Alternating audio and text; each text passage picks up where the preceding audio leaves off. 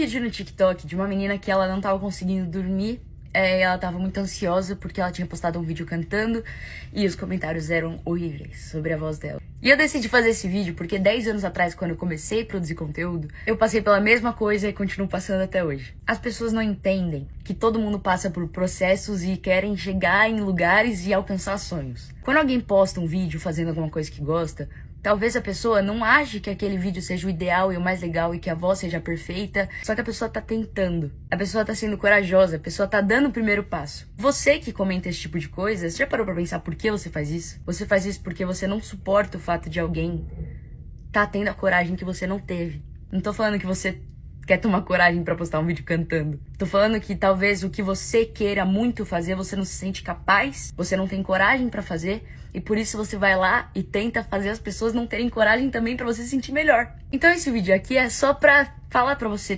tenha coragem de fazer o que você quer e ao invés de desencorajar alguém que tá tentando, vai lá e apoia, porque é isso que você vai receber também se você tentar. Não sei o que vocês acreditam, mas eu acredito que tudo, absolutamente tudo que a gente faz, tudo que a gente fala para os outros, volta pra gente. Se a gente dá amor, a gente recebe amor. Se a gente faz algo bom por alguém, aquilo vai voltar pra gente. Ou você acha que você realmente vai ganhar algo bom fazendo isso que você faz hoje. Eu nunca paro para falar sério nas minhas redes sociais, mas hoje eu senti no meu coração porque eu amo fazer isso aqui. Eu amo gravar vídeos, eu amo a internet, eu amo o como as pessoas podem se expressar e conhecer pessoas e todas as oportunidades que a internet traz pra gente. Então eu quero muito cuidar da nossa casa, desse lugar que a gente construiu. Não quero que vire um lugar tóxico. Não quero que vire um lugar que as pessoas não gostem de estar.